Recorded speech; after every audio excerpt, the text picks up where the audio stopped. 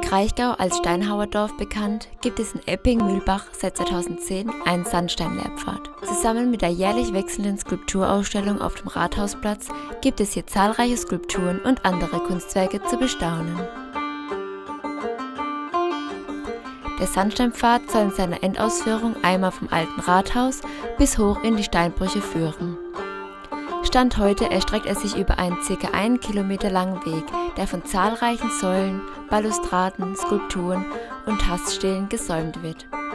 Im ersten Teil widmen sich einige Stationen dem Abbau und der Bearbeitung des Schilfsandsteins.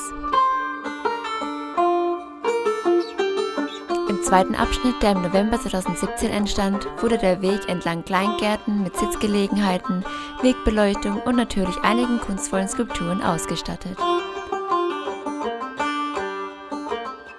Im Steinhauer Museum wird die Geschichte des Mühlbacher Schilfsandsteins und wie er das Dorf geprägt hat veranschaulicht.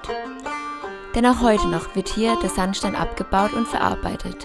Für alle Kunstliebhaber lohnt es sich definitiv über den Mühlbacher Sandsteinpfad zu schlendern.